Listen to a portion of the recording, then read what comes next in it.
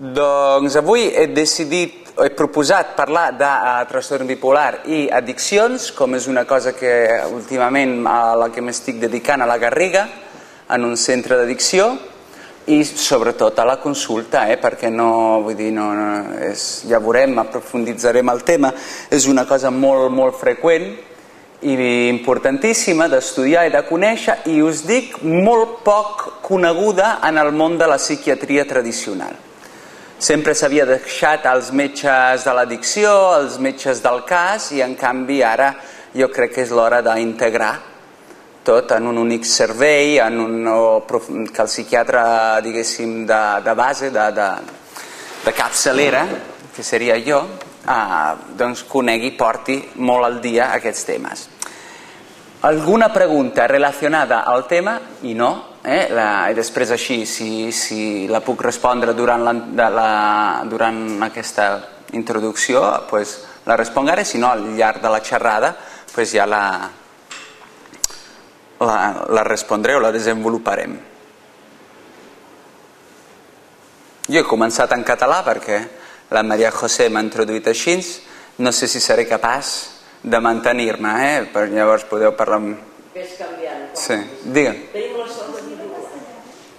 ¿En castellano prefieres? Bueno, un poco para todo. He decidido hacer una presentación bastante en blanco y negro.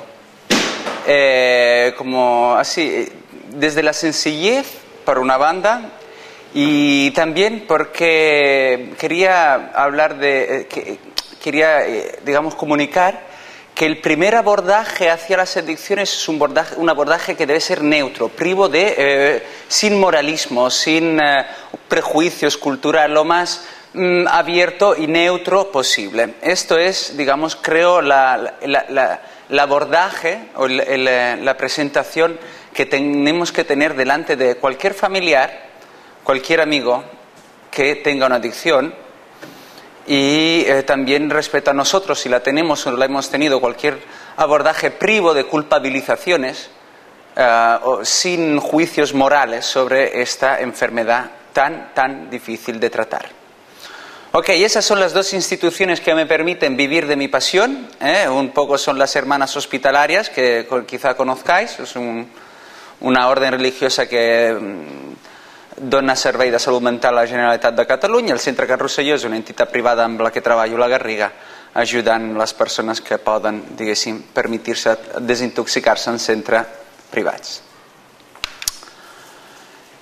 Eh, entonces empiezo la charla al revés. O sea, eh, todo lo que digo será para que os queden claro cuatro mensajes.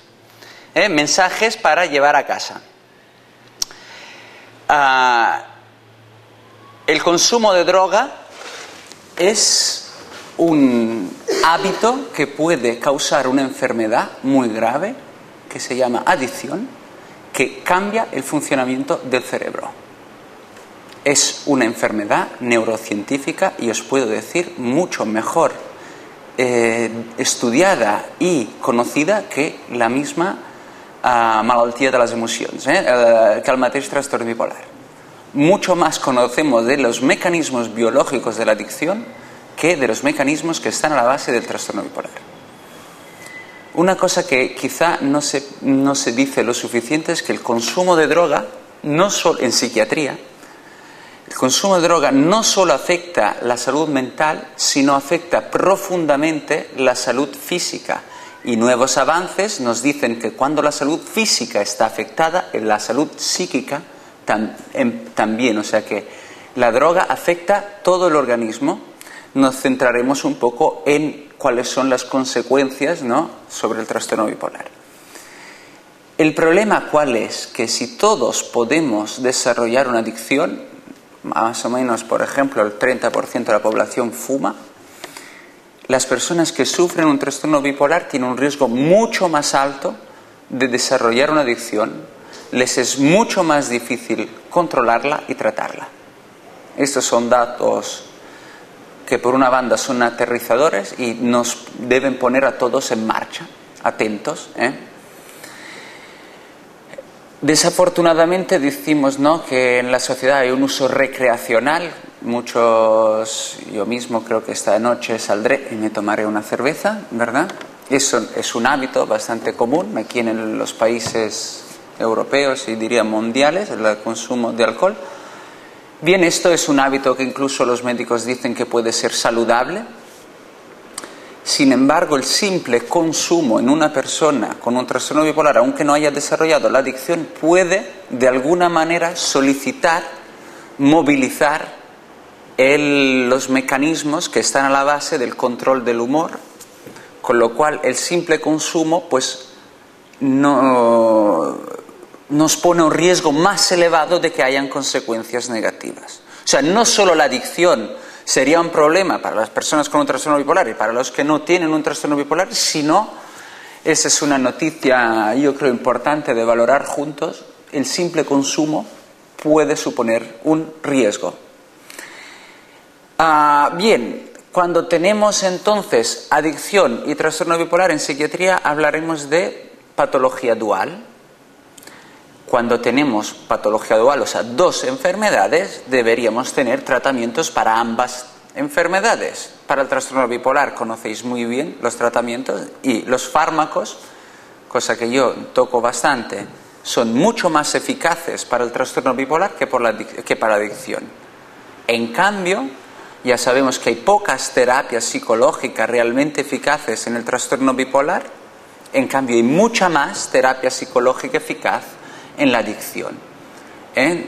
Mm, mm, cuando estudiaba medicina me decían que cada medicamento que sale en un departamento, en laboratorio, en alguna parte del mundo, que lo prueban en tumores, a ver si por casualidad funciona, les puedo decir que existe un laboratorio también que cada medicamento que sale lo prueban en adicción para ver si funciona, porque tenemos muy pocas cosas realmente eficaces a nivel de fármacos en el tratamiento de esto.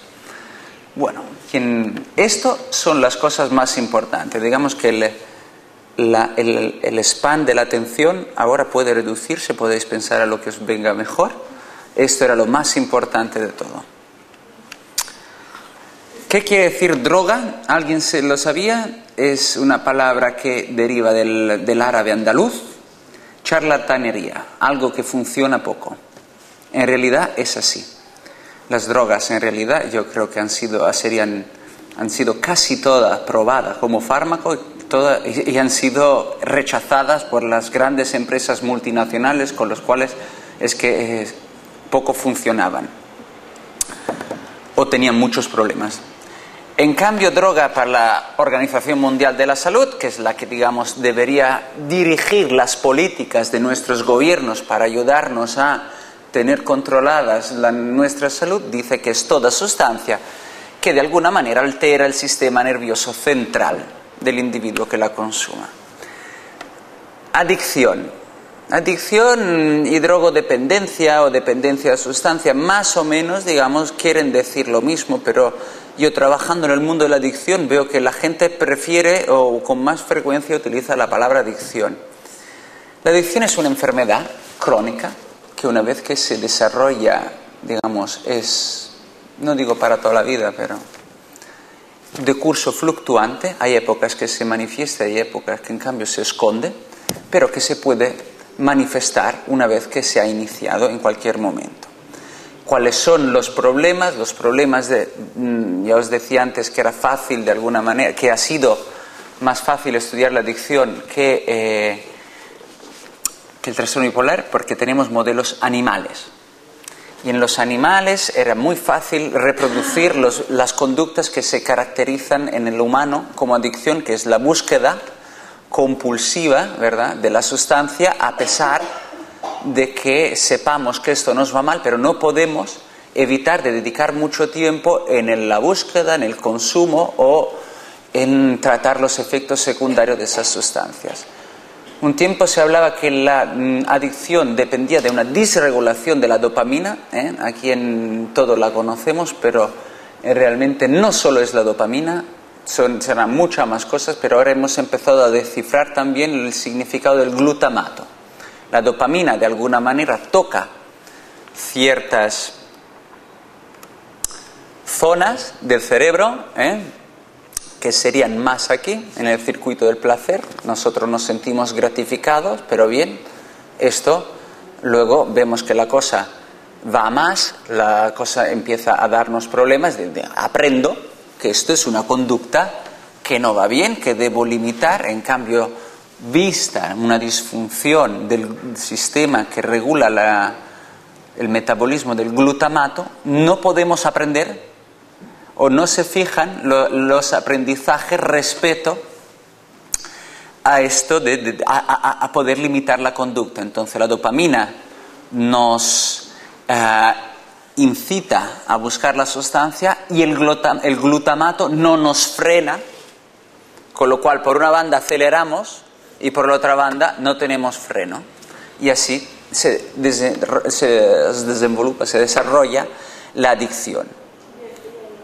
Sí. El glutamato es, digamos, eh, un neurotransmisor. A veces es uno de los motivos porque es muy importante venir aquí, yo creo, los médicos a estas eh, conferencias, porque muchas veces estamos acostumbrados a hablar un idioma que es el medicalese o el medicalán, y el medicalán al final lo entendemos bien entre nosotros, pero quizá fuera no. Entonces, un neurotransmisor es una manera con la que se hablan ciertas células nerviosas, como la serotonina, que está en la boca de todos, pero es algo que se ha aprendido a- a- a- a, descifrar ahora. El glutamato existe también, ¿verdad?, en las comidas. Si vamos al chino hay mucho glutamato, pero luego lo que comemos de glutamato no pasa al cerebro porque hay una barrera muy selectiva, un peaje muy caro de pagar y no todo el mundo se puede permitir entrar en nuestro cerebro. Entonces el glutamato que tú ingieres en realidad no pasa, o sea, no es que aumentando la comida china aumenta el glutamato en la cabeza. Esto hay un- una cinética cero, digamos, que eh, no es importante lo que tú tengas a nivel periférico, sino que pasa siempre lo mismo ¿eh? aquí en el cerebro. Y es un neurotransmisor importante en los sistemas que regulan tu capacidad en aprender. Digamos que si tú, si estas vías son disreguladas, yo no creo que podamos permitirnos el lujo de decir la serotonina es alta o baja, la dopamina alta o baja. No lo sabemos bien, es disregulado, ¿eh? Alta en cierta zona, baja en otra, más rápido en otra, más lenta en, en otra. Cuando el, glutamato se disregula, tus capacidades cognitivas empeoran. Entonces vas al neuropsicólogo, él te hace una, una serie de pruebas y tú, respecto a la población general, tienes una prestación más baja. No, no. Se- yo, ah, mira, aquí lo digo, yo no creo, no, no yo porque me, da el antojo, pero y toda la sociedad científica a las que yo pertenezco no creen en la determinación de, de neuro- de serotonina o dopamina o glutamato periféricos en la sangre para poder determinar lo que sucede en el cerebro. Es muy distinto lo que sucede en la sangre de lo que sucede, digamos, en esta parte, en el líquor, en, la- en el líquido donde está el cerebro, y lo que sucede dentro del cerebro. ¿Me entiendes? No hay una correspondencia. Por eso digo que es fácil equivocarse cuando de- decimos, sí, la depresión, ¿no? que siempre se ha dicho, es debido a un ni- niveles bajos de- de serotonina la serotonina está disregulada. Yo creo que es la, es la visión más fiel a lo que puede estar pasando. Porque puede que haya mucha serotonina pero no tenga receptores. ¿Me entiendes? Puede- Con lo cual... Ok, aquí una, así, otra palabra que se lee mucho es TUS, trastorno por uso de sustancia. En psiquiatría tenemos una Biblia, que es el DSM-4, que es a través de esto que nosotros establecemos diagnósticos. Hay mucha controversia ¿no? en, este, en ese sistema diagnóstico, pero es el que tenemos y el que se ha consensuado para utilizar. Y entonces el consumo por sustancias puede configurar dos enfermedades para nosotras, para nosotros. Uno es aquí es, es la dependencia, dependencia de sustancia, y el otro es el abuso de sustancia. Para dependencia es fácil, ¿eh? es considerar que las personas tengan tolerancia. Tolerancia quiere decir necesito cada vez más la misma, cada vez más dosis para obtener el mismo efecto. La abstinencia es si no tomo esa sustancia noto que me encuentro mal y luego paso tiempo en consumir, paso tiempo en buscar, deseo dejarlo pero siento que pierdo el control y sobre todo, a raíz de este consumo, mi mujer me echa la bronca, la bronca llego tarde al trabajo, algún, me han retirado el carnet. Eso todo son cosas que puntúan cuando vamos al médico para que él pueda decir, señor o señora, usted tiene una dependencia a esta otra sustancia.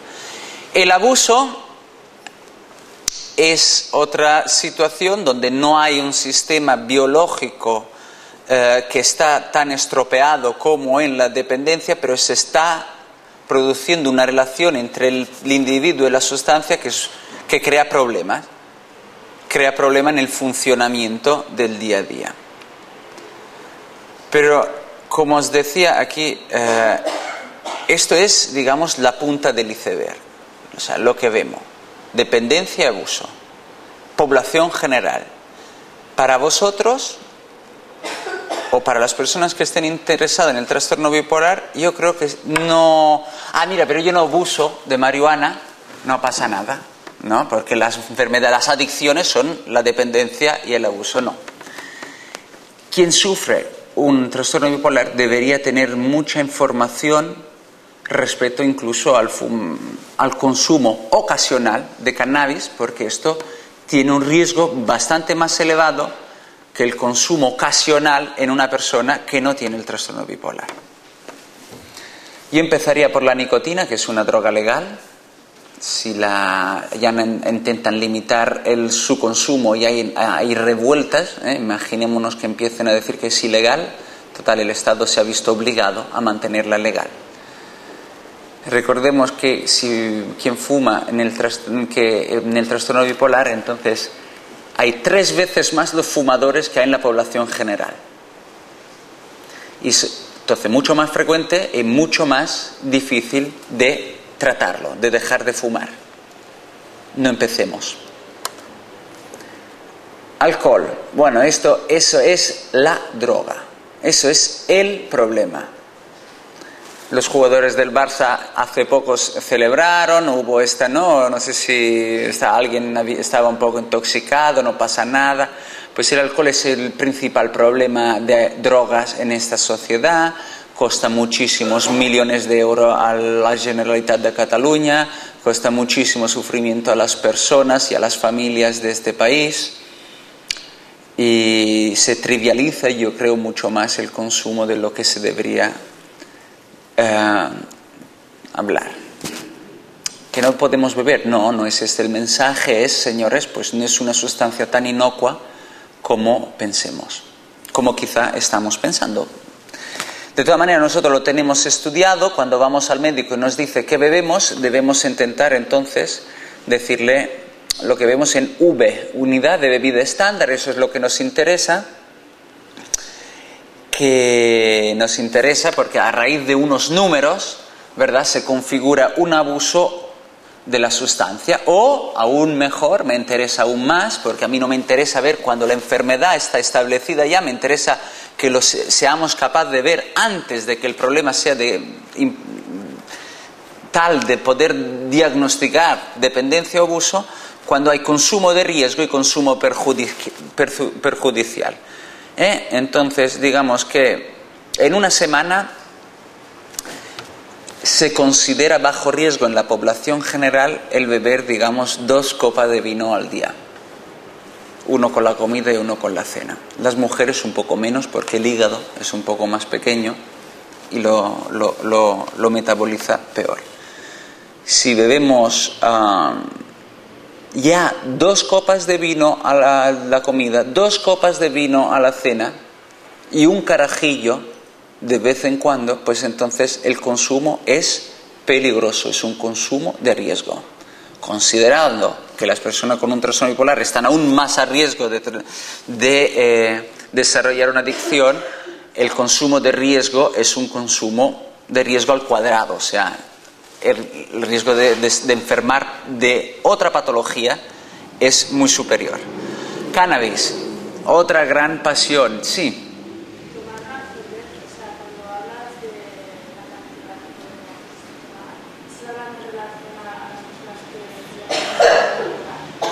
No, estoy hablando de las personas en general. O sea, que las- se- el nosotros consideramos que si tú tomas una, una cerveza o una copa de vino al- o dos al día, todos los días, eso es un consumo que no es de bajo riesgo.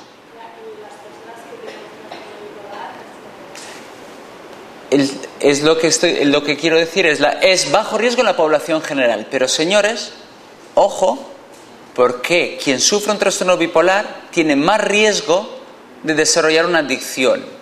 Con lo cual, aunque sea un bajo, bajo riesgo para la población general, no tenemos datos sobre qué tipo de riesgo tienen las personas que tienen un trastorno bipolar.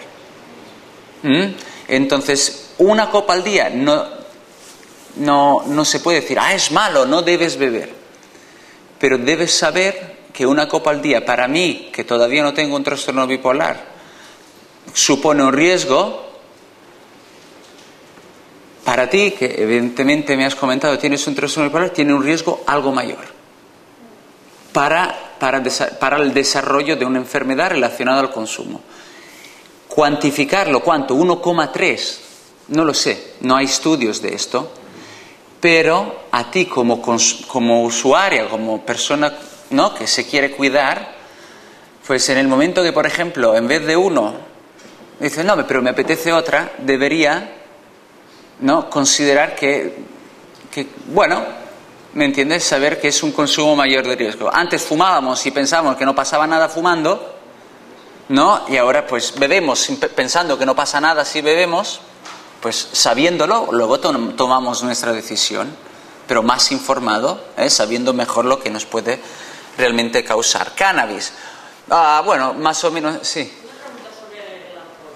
Si en lugar de una copa al día, como los bipolares decimos que no sabemos el riesgo que tenemos, Sí.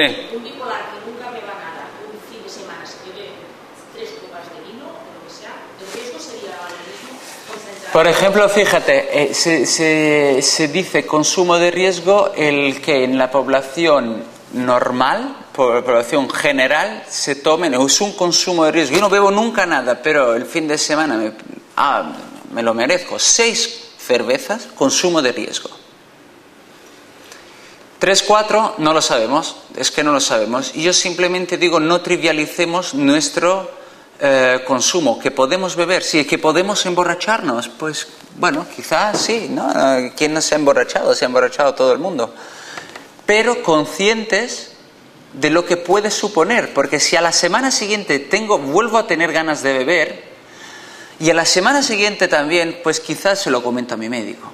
Oye, que yo hace tres semanas que no sé, cuando salgo no me puedo frenar. ¿Me entiendes? Ese es el mensaje. No es demonizar, por eso el blanco negro. No es, no, beber es malo. O no, beber no pasa nada. No, es, señores, aprendamos que lo que bebemos puede afectarnos. Líbido. Cannabis afecta la libido. Y sobre todo para los jóvenes, quien tenga hijos que quizá tienen un trastorno bipolar o amigos jóvenes y tal, eh, es un grave problema si empezamos pronto. Y sobre todo ahora el cannabis que la gente está fumando ahora no es el cannabis que fumaban los Beatles, no es el cannabis que fumaba Jimi Hendrix, no es el cannabis que fumaba Bob Marley, es otro. Es un cannabis mucho más potente, mucho más peligroso desde el punto de vista de la salud física y psíquica. Mm. Ha cambiado la sustancia, la han seleccionado cada vez más con más efectos y ahora pues es una sustancia de la que tenemos pocos datos, no es la sustancia que acompaña al hombre desde eh, ¿no? en la India, los sadhus y todas las culturas aborígenas que han consumido cannabis, no es el cannabis que fuman aquí los- las personas que circula, que es mucho más potente. Entonces, ojo, y si no podéis dejar de fumar, pues fumar hachís. Es una cosa que yo, por ejemplo, aconsejo a los que no quieren fumar, no quieren dejar de fumar y tienen trastorno bipolar, no, porque a mí tal, y no tienen todavía la conciencia que esto le, le vaya mal, pues digo, mira, entonces en- procura fumar menos potente, ¿no? En vez de o lo mismo con el alcohol, en vez de beber whisky, pues reducción del daño. Ese es un abordaje que yo creo que mm, tiene sus frutos más que decir, bueno, hasta que no dejes de consumir, no te quiero ver. La cocaína tiene efectos psíquicos, bueno, de aceleración. ¿eh? Quien aquí ha sufrido algún episodio de hipomanía o de manía, pues ha experimentado a la vez síntomas de intoxicación de cocaína, se parecen en alguna manera, pero no, no olvidemos las complicaciones físicas. Yo veo chicos de 28 años con problemas debido a ictus que han tenido en un consumo de cocaína. Mucho más peligroso consumir cocaína cuando se bebe alcohol que es lo más frecuente, bebo dos copas y luego pues, mi amigo me invita a una raya porque se forma una sustancia, se llama cocaetileno, que favorece mucho más el instaurarse de una adicción. ¿Os habéis aburrido ya? No. A mí el tema drogas siempre me ha gustado mucho. La, la metanfetamina. Esto se llama speed. Es una droga similar a la cocaína, eh, de fabricación sintética, ¿no? Aquí hay mucha, yo vivo en la Garriga, la gente siempre me pide cosas naturales, pero luego toma speed. Eh, El speed lo hacen en laboratorio, es más barato porque, eh, se, porque se puede producir en grandes cantidades. Ah, dura desafortunadamente mucho más tiempo en el cerebro, el efecto entonces mucho más duradero y más riesgo de adicción. Ah, aquí empiezan un poco las cosas nuevas que os quería avisar para que seáis personas informadas sobre culturas callejeras de Barcelona y área metropolitana. GHB, la droga de la violación. Si frecuentáis ambientes promiscuos, eh, pueden, se han, descubierto una sustancia que, que, mima, que es muy similar a la, al GABA, que es otro neurotransmisor, el GABA, que es media, ¿no? La sensación de sedación, de tranquilidad, que, eh, que puede de alguna manera causar trastornos de la memoria y, y, muchas son las chicas que acuden a urgencias diciendo, oye, que no sé qué me ha pasado, pero me parece que me han violado. ¿Eh? Esas son las drogas que utilizan también para robar, ¿no? En las caravanas. Ah, no sé qué ha pasado, me he dormido.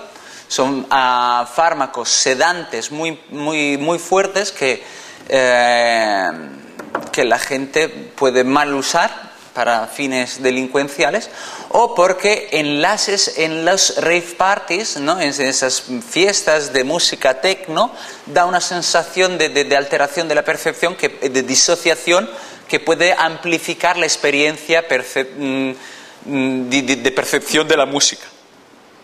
La ketamina, otra grande medicina que se usa en anestesia, pero dejarla usar a la gente en un quirófano. No la usemos nosotros en la calle porque da graves problemas. Eh, otra vez actúa sobre el glutamato, actúa sobre la capacidad de aprendizaje, da trastornos cognitivos, son típicas los los síntomas disociativos con la, con la ketamina, la gente los utiliza también en, yendo a bailar, ¿eh? drogas de club, de disco, porque da una sensación extraña, te hace sentir un poco como el éxtasis en contacto con las demás personas. Aquí hay algo que nuestro amigo Albert Hoffman sintetizó a partir de, de hongos que atacaban el centeno, el LSD. ¿Eh? Eh, entonces esto quizá lo conozcáis, es el padre de todos los eh, alucinógenos, que, que, sepáis que cierto tipo de fármaco se vuelve a utilizar en cierto tipo de terapia, pero una cosa es utilizarlo. El LSD, por ejemplo, recientemente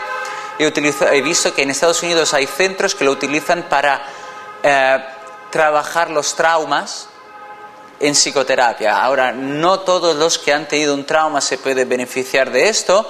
En setting controlado, en ambientes controlados, estos pueden ser fármacos que cuando nada ha funcionado se puede, eh, se puede intentar eh, utilizar. ¿eh? Pero una cosa es utilizarlo bajo consejo, bajo consejo del médico, otra cosa es buscarlo y manejarlo nosotros mismos la, la fenciclidina, más o menos, el peyote, ¿no? Ah, ah sí, pero lo utilizan en rituales, sí, pero una cosa es utilizarla, esa sustancia en ciertos rituales, la frecuencia de los rituales es mucho más baja que la frecuencia que en cambio la adicción a esa sustancia puede puede eh, inducir a utilizar. La psilocibina son otros hongos, ¿no? Magic mushrooms, son setas mágicas que, que se venden en tiendas.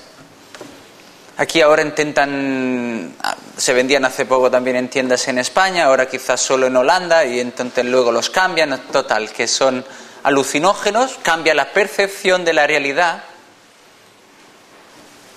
En esos casos hay comunidades no hippies, fiestas hippies que se equivocan y se comen, por ejemplo, setas venenosas que se parecen y entonces luego eh, tienen problemas graves de envenenamiento. Yo cuando trabajaba en el servicio de interconsulta he interconsultado gente que ha tenido que trasplantarse de hígado a raíz de fiestas donde consumía setas pensando que podían ser alucinógenas, en cambio eran setas venenosas. Luego otra cosa, no, quizá no tanto aquí, pero no será, yo creo que llegará, porque la crisis llega aquí también y eso es algo más de, de países con muy bajo renta per cápita. A ver, la ¿verdad? El aerosol, el pegamentos, las, los barnices tienen sustancias volátiles que se parecen eh, a, son alquenis, eh, alquenes que se parecen algo a, a- bencenes, a la gasolina, que de alguna manera tienen el mismo efecto del alcohol, pero ultra concentrado, mucho más tóxico, y dan esa sensación de, de, de- de- colocón que pueden, ¿no? pueden desarrollar, la gente puede desarrollar dependencia. Estos son muy dañinos para el resto del organismo. Y luego son las últimas, las- la última moda es comprar droga no al camello, no en la tienda debajo de casa, sino la última moda es comprar droga por internet. Este son drogas más o menos legales o alegales, o sea, el Estado no ha, no ha encontrado todavía la manera de eh, hacerlas ilegales. La salvia divinorum, que no es la salvia con las cuales cocinamos cierto plato, sino es una salvia especial, eh, diferente de la familia, que da experiencias psiquedélicas, ¿no? parecidas a alucinógenas de media hora de duración.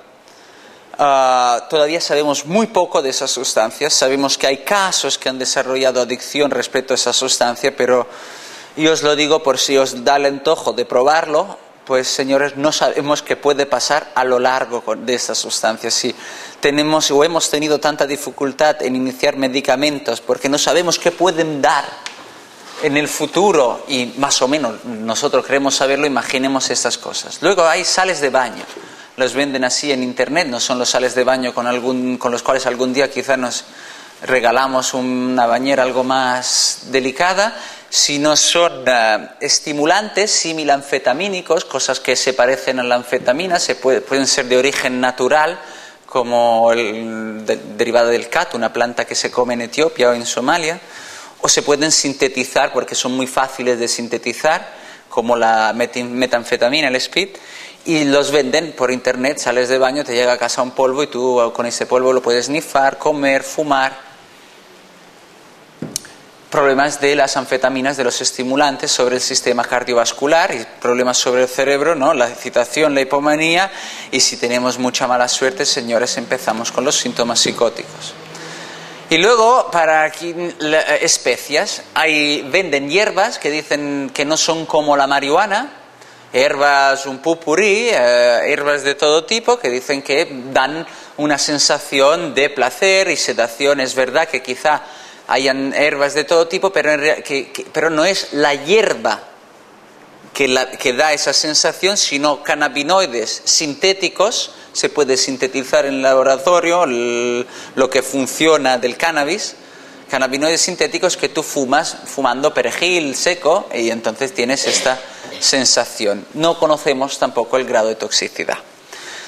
Bien, esto era para decir que las drogas son conocidas e ilegales, un gran problema de salud pública, conocida y ilegales problemas de salud, pero de magnitud no tan grande como el alcohol y el tabaco, pero mm, muy peligrosa porque son sustancias que no La cocaína, el cannabis, todos se han intentado utilizar en medicina, pero son fármacos muy mal, la basura de, lo- de las multinacionales y bueno, y la- y la utilizaron. Y luego hay drogas desconocidas y alegales que se pueden, que, en las- con las cuales podemos entrar en contacto muy fácilmente. No conocemos qué riesgo tienen, sabemos que mueven y se mueven por las mismas vías que el resto de droga, altera el sistema nervioso central, se mueve la dopamina, se mueve el glutamato y podemos desarrollar la adicción, que hemos dicho que esta búsqueda, y para resumir la adicción es un consumo que yo no controlo es levantarme por la mañana y decir, ayer he bebido demasiado, debo dejar de beber, sin embargo, los tres días vuelvo a beber. Y ahora hablamos de, sí. El café en realidad eh, sí es un estimulante. Pensaba eh, que trobessis a faltar las benzodiazepinas, eh, al diazepam. Eso eh, lo dejo para las, las preguntas, no me quiere... He sesgado la información. No, el café en realidad mm, es verdad que en algún caso, pero mm, no es... En algún caso puede desarrollar adicción, en algún caso puede desarrollar adicción. Sabemos que en la población que tiene un trastorno mental es muy elevado el consumo, más elevado el consumo, hasta tres tazas al día se dice que es bueno el café. O sea, no es que el café en sí sea malo, pero eh, no, no, no es verdad, tres tazas son buenas, porque ayudan un poco, pero el problema es que hay gente que no puede controlar el consumo. ¿Es una buena respuesta? Te diré que en ningún libro que he consultado aparece el café. Eh, en la Sociedad Española de Patología Dual, que como decir es, digamos, la sociedad que, de médicos que están interesados en tratar personas con trastornos, eh, con problemas de salud mental y adicción, no se habla del, no, no, se habla del café. Es, eh, eso es un touché, dirían los franceses. Mira. La anécdota de hace años, cuando me llevó el doctor Vieta, Sí. eh, a consecuencia de los antipsicóticos que yo tomaba, le dije, me has convertido en un adicto al café. Y me contestó, es un mal menor. ¿Sabes? La relación entre médico y paciente siempre es muy especial. En la consulta puede pasar de todo. Y ex- como, eh, eh, como en la cancha. En la cancha puede pasar de todo. Luego extrapolar de fútbol. Extrapolar lo que ha sucedido en este momento, al día a día. Entonces, am, es posible, es posible. que en- es cierto que en algún caso, en- para ser un poco personal, la enfermedad es tan difícil que debemos aceptar tener eh, pérdidas mm, para no tener derrotas, desastres. ¿Me entiendes? Ok. Riesgo de para responder, si bebo una copa de vino, merced, tal, no lo sé, se debe estudiar caso por caso, pero los números dicen que quien sufre un trastorno bipolar tiene 10 veces más el riesgo de desarrollar un trastorno por dependencia por, el alcohol. Beber, sí, pero con moderación, uno. Y dos, vigilando qué relación desarrollamos con la bebida, con el vino, con la cerveza, porque el riesgo es más alto. De todos los trastornos psiquiátricos, ansiedad, depresión, esquizofrenia, quien sufre con más riesgo, quien sufre más trastorno por esa sustancia eh, son las personas con un trastorno bipolar. La adicción más frecuente, ya le hemos dicho, no hemos de buscar el cocaína, el cat, el cat la, el speed, es el alcohol. Es el alcohol. Los estudios son muy variables, sabemos todos que los estudios son una guía, algo, pero en realidad los números se mueven uno de dos, pacientes con trastorno bipolar, ha desarrollado, desarrolla, tiene en ese momento o desarrollará un trastorno por uso de alcohol en, a lo largo de su vida. Es más frecuente en los trastornos bipolar 1 respecto a los trastornos bipolar tipo 2 y no sé si alguien os ha venido a hablar del espectro bipolar. Digamos, eh, algún día quizá podemos hablar de eso, de cómo ya empezamos a ver que no existe solo el trastorno bipolar 1 y trastorno bipolar 2, sino existe una serie de trastornos afectivos que nos recuerdan a formas parecidas al trastorno bipolar, que todavía no sabemos bien bien cómo decirles, ¿eh?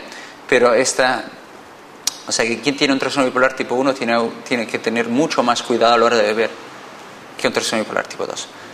Y el género, los hombres beben mucho más que las mujeres, tanto en la población normal como en la población de personas que sufren trastorno bipolar, pero quien sufre más, digamos, quien tiene un riesgo relativo más alto eh, son las mujeres. O sea que beber para una mujer es algo más peligroso que para un hombre, respecto al riesgo de poder desarrollar un trastorno por adicción al alcohol. Total, diciendo, son muchos los que consumen. Esto es un poco frecuencia elevada, elevada, elevada. Bueno, eh, la parte más difícil de esta charla, que yo he intentado resolver fácilmente con esta diapositiva, es, ¿pero qué relación hay entre el trastorno por uso de sustancia y, y el trastorno bipolar? O sea, yo consumo y luego desarrollo un trastorno, el trastorno bipolar me da una predisposición a tomar sustancias. No, pero yo consumo, por ejemplo, el café en tu caso, para compensar ciertos efectos secundarios de la medicación. O consumo porque me, estoy tan ansioso que con la medicación no llego y, en cambio ese gin tonic, martini dry por la no tarde me ayuda a controlar la ansiedad. Las relaciones complicadísimas en medicina, yo pienso que debemos decir, sabemos que no sabemos, y entonces podemos hacer asociaciones. Sabemos que hay sustancias que inducen trastornos del estado del ánimo, sabemos que hay trastornos del estado del ánimo como la hipomanía que nos inducen a probar cosas diferentes y luego nos pillamos los dedos quizá. Sabemos que hay genes que comparten tanto el, trastorno bipolar como los trastornos por adicción, o sea, quizá uno nace, si hay cierto gen alterado, nacemos con una predisposición a desarrollar las dos enfermedades. Sabemos que hay neurotransmisores en ambas enfermedades que están disregulados. La dopamina es un gran problema para quien sufre. Mantenerla regulada es un gran problema para quien sufre un trastorno bipolar, es un gran problema mantenerla regulada para quien sufre una adicción. Sabemos que quien sufre un trastorno bipolar sufre más estrés social. Y sabemos que quien, su, quien sufre adicciones también. Estrés social que es estigma, la gente me deja solo, es más fácil perder trabajo por las bajas que tenemos por depresión, es más fácil eh, tener peleas porque algún día tenemos un ciclo rápido y de día para otro cambiamos de estado de ánimo, estamos irritables y peleamos con todo el mundo esta la situación social que en muchos casos, digamos, uh, complica el trastorno bipolar, puede ser ella la favorecedora a encontrarse con sustancias, la automedicación y luego la característica de personalidad. En eutimia, a ver si, si, si existiera la eutimia, en eutimia sabemos que eh, las personas con un trastorno bipolar tienen de todas maneras, respecto a la población general, algo más de impulsividad en línea general. Y la impulsividad es algo que es común también con las adicciones, con las personas que sufren adicción. Y sabemos que hay muchos exploradores que han tenido un trastorno bipolar o que tienen familia con trastorno bipolar. Y la búsqueda de novedad es otro mecanismo a través del cual quizá podemos eh, buscar una relación entre la adicción y el trastorno bipolar son dos cosas que van juntas, ¿eh? muy estrechamente relacionadas. Bueno, no complicaciones del trastorno por uso de sustancias sobre el trastorno bipolar. Pero no, yo doctor, mire el cannabis, que es... Eh, yo lo quiero fumar porque me gusta, porque el sabor, porque tal. Bien, digo, ¿quieres seguir fumando? Pues debes saber lo que sucede. No, pero yo sigo trabajando, hago mis cosas, no tengo criterios de dependencia porque lo puedo dejar algún mes, mm, no tengo criterio de abuso porque no me ha causado problemas, pero hemos dicho que quizá un consumo simple del, cannabis se relaciona a complicaciones en el curso del trastorno bipolar. Aquí hay unas de las evidencias que tenemos. Quien consume tiene más episodios mixtos, muy dolorosos, sabemos que que se reabsorben lentamente se, eh, la remisión, que quiere decir, cuando el médico me, me, me, dice, oh, por fin estás bien, O cuando yo pienso, por fin estoy bien, pues si consumimos esto llega más tarde o, tar- o- o quizá no llegue, sean más hospitalizaciones, la ciclación rápida, los episodios maníacos son más graves, tienen- las personas que con trastorno bipolar y consumen tienen más problemas legales, tienen más problemas de- de- de- de- de- con la, la ideación suicida y con la suicidalidad en general. Toman peor la medicación y tienen más problemas de memoria. Y en general esa es la medida que ya se ha puesto de moda, escucharemos cada vez más, funcionan peor. Porque los síntomas, señores, no son un mal menor. Muchas veces para el médico, por ejemplo, o para no tenemos síntomas, así no, usted la depresión ya no, ya se ha curado. Sí, pero doctor, yo me siento con dificultad en trabajar, no salgo ya. Entonces el funcionamiento es lo que a nosotros interesa más. ¿Cómo funciona usted? Mal. Mal porque, bueno, si hay síntomas, vamos a tratar los síntomas y vemos. Pero el funcionamiento en general, si se consume sustancias, es peor. Y sobre todo nosotros tendremos más códigos con los cuales etiquetar las personas, más diagnósticos. En general, quien sufre un trastorno bipolar y un trastorno por uso de sustancia tiene más riesgo de tener otro diagnóstico. Y sobre todo, eso es una cosa que me, eh, un tema a mí, eh, muy, que quiero mucho, que es la comorbilidad vascular y respiratoria. Es decir, no solo nuestro trastorno bipolar, nuestro humor y nuestro funcionamiento irá peor, pero tendremos tendencia a desarrollar más obesidad, más hipertensión, más ictus, más infartos, que a la vez complicarán el curso de nuestro trastorno bipolar.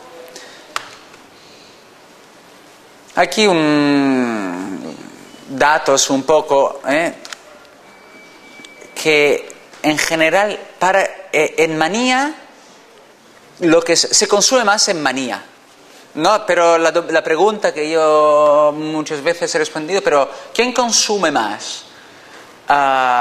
Eh, ¿Los que están subidos o los que están deprimidos? Pues consumen más los que están subidos porque buscan más sustancias en términos de números, pero luego lo pueden dejar más fácilmente de quien en cambio encuentra la sustancia y tiene un trastorno bipolar que tiene más tendencia a hacer depresiones. O sea que quizá lo que hemos entendido, es, en manía encontramos la sustancia y en depresión la mantenemos.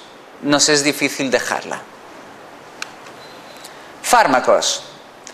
Bueno, algo aquí, la asociación, eh, yo creo que es una cosa ayudar porque realmente muchos cambios vienen si hay un esfuerzo conjunto. La, la- la población médica pide a las industrias farmacéuticas, porque el ministerio ya no tiene dinero, que se hagan estudios en población de personas con trastorno bipolar y tóxicos, pero la empresa no va a ganar dinero porque saldrán, serán muy difíciles que salgan positivos. Entonces no se hacen estudios. No se hacen, hay muy pocos estudios de trastorno bipolar y sustancias.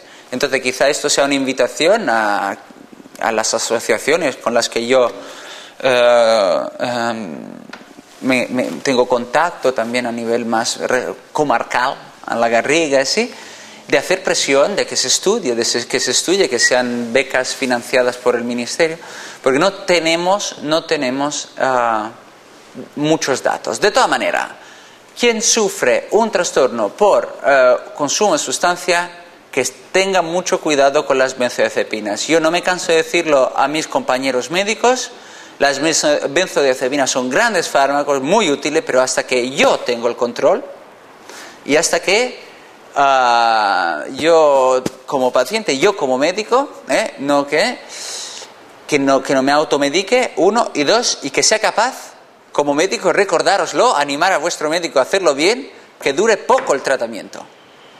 Tratamiento a largo plazo con benzodiazepina, a veces, mire, eh, no se puede hacer otra cosa y se mantiene, pero ¿en quién inicia un nuevo tratamiento?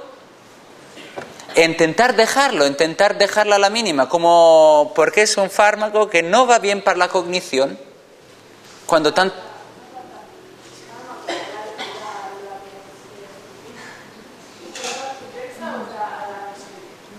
El ansiolítico. Benzodiazepina, tranquimacin, diazepam, valium, lorazepam, orfidal, tranxilium, ah, lexatin. Y yo recomiendo que se utilicen con cuidado. y que sea la misma persona, porque al final vuestra salud depende de vosotros, para las personas que aquí tengan una enfermedad y no de vuestro médico, o por lo menos de una interacción de vosotros. O sea, que sepáis que las benzodiazepinas a largo plazo, o sea, durante meses y años, son un problema. Son un problema. En algún, sí, sí, el Noctamid, Loramed, es, es, hay que hacer un esfuerzo para aprender a dormir sin estas pastillas o para, yo creo, buscar otras pastillas para dormir. Yo, por lo menos, me siento de recomendarlo. Sé que esta es una afirmación un, un tanto polémica porque es muy frecuente encontrarlo en pautas, pero mm, personalmente mi esfuerzo es de iniciar, lo utilizo, lo utilizo claramente, pero el esfuerzo mío es de quitarlo en cuanto se pueda. A veces se quita en años, ¿eh? No es una en el centro de Can Rosselló, donde hago desintoxicación, el mono de benzodiazepina de Valium es el peor. La, la abstinencia es la peor. Son fármacos que tienen una, un, un, un, efectos secundarios a largo plazo. Por ejemplo, ¿por qué digo que no? Porque a largo plazo la cognición, la memoria se afecta, estás más enlentecido, eh, entonces yo creo que son fármacos necesarios de utilizar, necesario, importantísimo, pero hay que hacer un esfuerzo, una vez que se esté bien, a intentar dejarlos. Y buscar alternativas y quitándolas uno no duerme. ¿Me, ¿me entiende? Quitarlos de golpe nunca y quitarlos por propia iniciativa nada. Sí.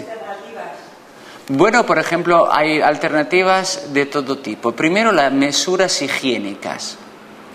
La higiene del sueño, fundamental. Eh, ¿Qué pasa? Que no, no, se, no, se, responde tan bien como, al, como, a los fármacos. La higiene del sueño, para que funcione, se tardan semanas, el fármaco funciona rápidamente. Entonces, un equilibrio, no, no os estoy animando a dejarla ni decir, no, doctor, no me dé esto, que esto es veneno. Pero en saber realmente, no, hay que saber que el ibuprofeno, si tomo litio, debo tener atención? Pues si tengo un trastorno bipolar y no puedo dormir y me recetan orfidal, debo tener atención a que ese tratamiento pues esté bien controlado, debo tener atención a no tomarme uno, ah, hoy me siento un poco así, me tomo uno, porque es fácil desarrollar una adicción. ¿Mm? Las benzodiazepinas no son hacen dormir y pueden salvar episodios maníacos, pueden abortar ¿no? episodios maníacos, episodios depresivos, paliar situación de crisis, pero luego, como toda cosa, tiene una vida. O sea, los fármacos nuestros son los eutimizantes, los antipsicóticos y el litio.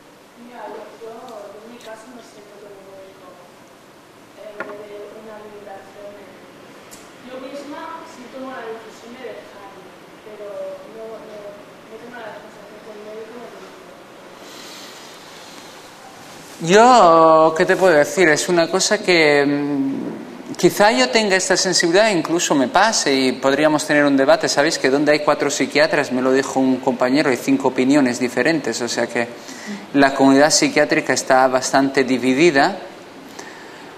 Um, yo tengo mis argumentos para las personas que trato, pues utilizar lo mínimo posible, ¿no? Eh, y, y um, ¿qué te puedo decir? Y, y, intentar reducir cuando se pueda.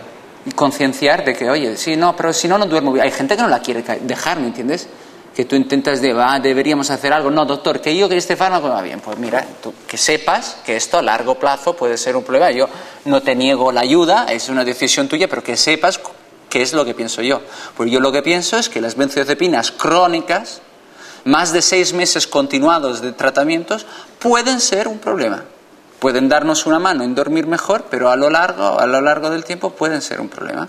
¿eh? Justo por la adicción, por la memoria, ¿verdad? Por la debilidad muscular, por esa... Ah, tengo ganas. ¿Eh? Polémica y polémica también el antidepresivo.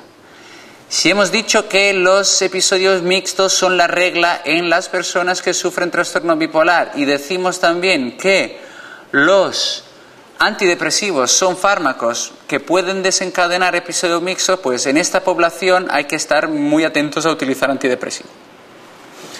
En realidad, el gran fármaco que tenemos a disposición es el Depaquine, valproato, que es fármaco la lamotrigina, que funciona. Al inicio funciona muy bien el litio, después de unos años de adicción funciona menos, pero entonces esto más bien para nosotros o para mí, o sea, un paciente joven que consuma, pues el litio es una buena opción. Paciente, ahora hay una generación de personas de gen gran, ¿no? de personas mayores que, que consumen, pues el litio ya es buscar, intentaría más con el vaporato primero. La quetiapina, Seroquel, Seroquel Prolong, Cudix, Psicotric, ahora se ha liberalizado. Buen fármaco, sobre todo porque tiene propiedades antidepresivas, ¿verdad? Y la ripiprazol también. Todos estos estudios, de toda manera, no tienen el rigor que el profesor Eduard Vieta le gustaría que tuvieran. ¿eh? Entonces, las evidencias que tenemos no son tan válidas como las de otro fármaco. Dime. ¿La carbamazepina? Muy buen fármaco. No lo he puesto porque porque eh, se utiliza, pero es de segunda. Eh, porque los, la carbamazepina no hay mucha gente con trastorno bipolar actualmente que la tome porque es un fármaco antiguo y, se y generalmente se toleraba menos. Entonces ha caído un poco en segunda línea.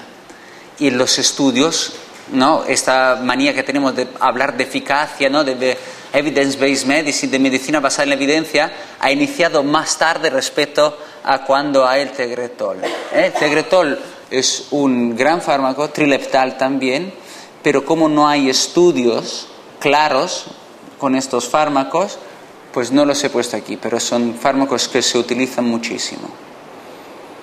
Y luego otro gran fármaco, quizá nadie, eso no, no sé, pero no, no, he visto muchos psiquiatras generalistas, o sea, que nos interesan a adicciones para usar la naltrexona, Revia.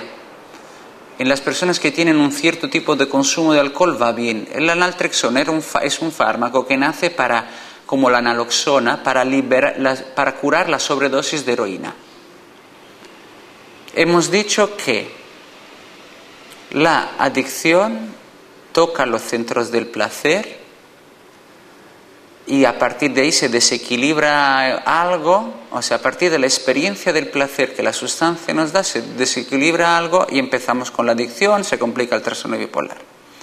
Pero el placer, aparte de ser una categoría romántica y literaria, es una categoría científica. Yo siento placer porque la dopamina toca cierta cosa y porque los receptores opioides que tenemos en el cerebro están tocados, se han activado.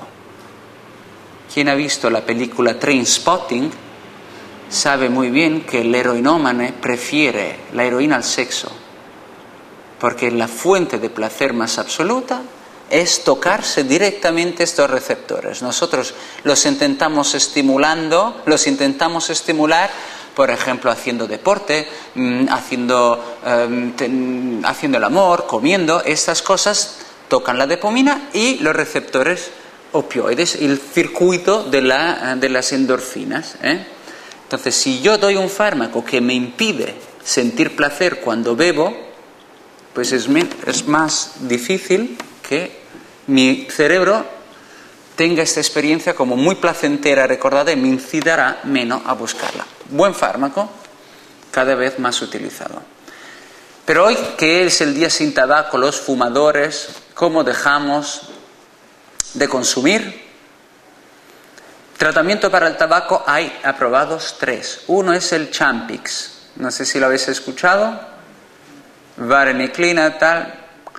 No está mal, las evidencias, no hay evidencias claras, cuesta dinero, si alguien tiene ese dinero ahorrado pues se lo puede, puede invertirlo, pero no es un tratamiento de primera línea para nosotros porque no sabemos muy bien cómo puede afectar el trastorno bipolar. Hay series de casos, no ha ido mal, pero todavía no te lo puedo recomendar diciendo, oye, esto es la leche. Cosa que puedo recomendar a la gente que no tiene un trastorno bipolar. El bupropion, sí. ¿No lo has escuchado? No. Eh, el, Champix, mira, es un medicamento que tu médico de cabecera te puede recetar, es un medicamento de pago, se paga, es un tratamiento que actúa sobre los receptores nicotínicos y tiene alguna vez en la población general algún trastorno de ansiedad, insomnio.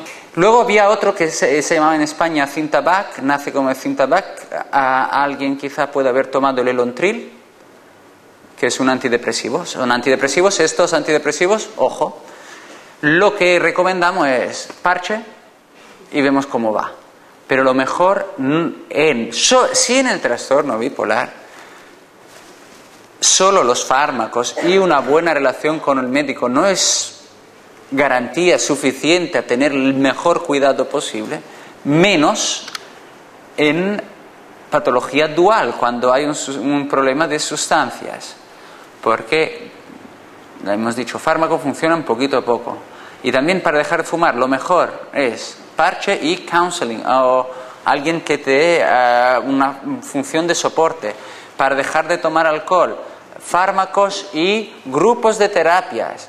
Eh, o sea, aún más, aún más en el trastorno bipolar con uso de sustancias, el mejor tratamiento es la combinación de un tratamiento farmacológico y una terapia mm, psicológica.